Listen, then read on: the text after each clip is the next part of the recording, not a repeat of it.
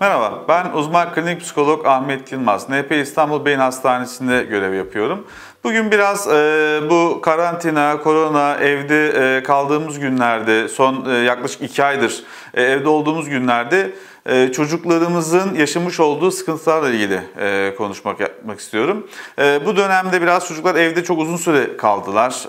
Evde kaldıkları süre içerisinde dışarıya çıkamadılar. Çünkü 20 yaş altındaki çocukların dışarıya çıkmasıyla ilgili bir uygulama vardı, yasaklama vardı.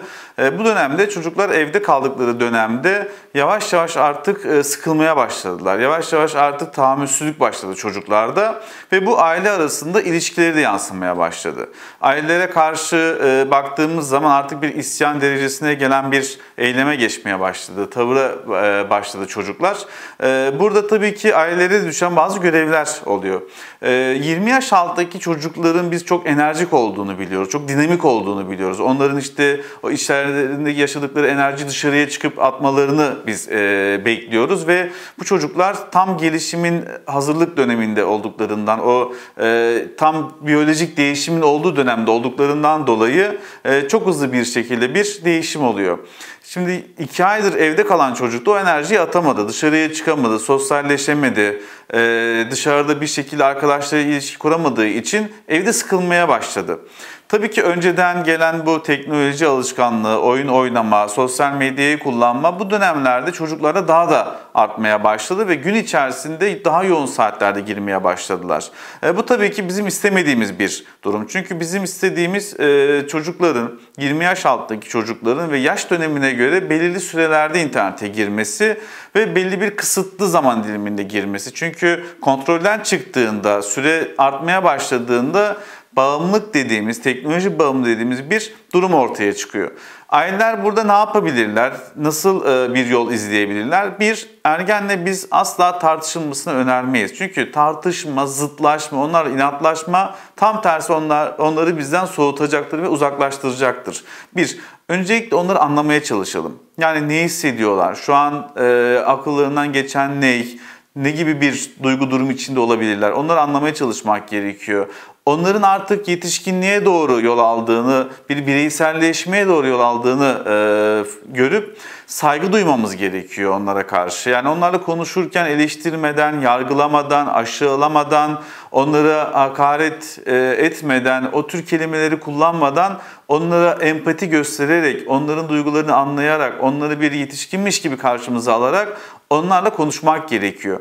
Ee, kendilerini sıkıntılı hissettiklerinde, olumsuz bir duygu yaşadıklarında onlarla o anki duyguları üzerine konuşmak gerekiyor ve bunu konuşurken de yine yargılamadan konuşmak gerekiyor.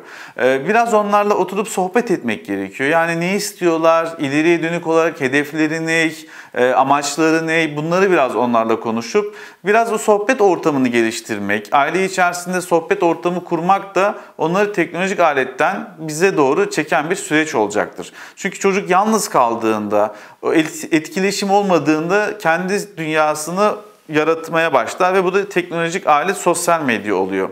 Bunları yapabilirsiniz. E, son alınan kararda belli bir zaman diliminde çocuklara ve ergenlere dışarıya çıkma izni verildi. Bu vakiti çok kaliteli bir şekilde kullanabilirsiniz. Yani o kısıtlı zamanı kaliteli bir şekilde kullanıp bir deşarj olma yani orada bir rahatlama amacıyla kullanılabilir. Bu şekilde de olabilir. E, bu dönemde biraz uykuda çok sorunlar yaşanıyor. Çünkü geç yatmalar, geç uyumalar, geç uyanmalar oluyor ve uyku düzenleri bozuldu. Okul dönemine başladıklarında e, burada bir sorun yaşanmaması için mümkün olduğunca uykuyu da çok bozmamaya çalışmak e, bu da çok önemli. Hatta 10-11 gibi e, uyumasını biz arzu ediyoruz. Çünkü o dönemde salgılanan bazı hormon kimyasalların e, büyümede ve beyin gelişiminde etkili olduğunu e, görülmüştür çalışmalarda.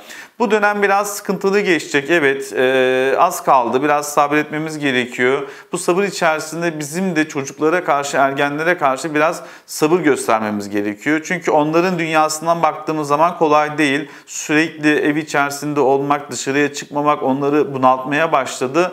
Ve çocuklar e, bu tür bunaltıları aşırı hareketlilikle aileye göstermeye başlarlar. Biraz onlara anlayış göstermek de önemli.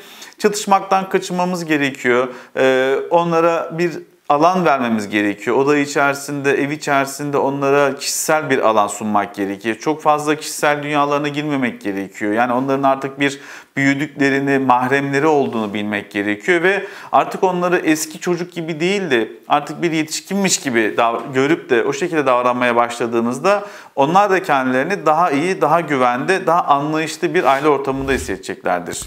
Umarım kısa sürede bu süreci de birlikte atlatırız. Sağlıcakla kalın.